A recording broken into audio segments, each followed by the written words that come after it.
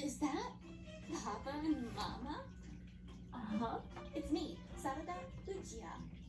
You are Papa, Mama. What's she talking about? Uchiha? You must be kidding me.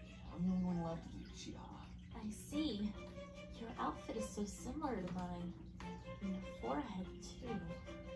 Yes, I know what you're thinking. Let me show you something. I come from the future. Papa, Mama. Um, uh, uh, huh? Hey, Sakura! So this is how it will look like. She's got Sakura's eyes. Wow, I'm hot. I knew it. Sakura would be gorgeous. I guess we need more boys in the house for clan revival. Must note that down.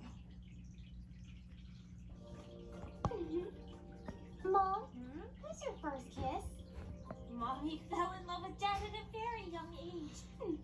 Sarada, why are you so curious about this? Uh, Naruto. What about Daddy? Also Naruto.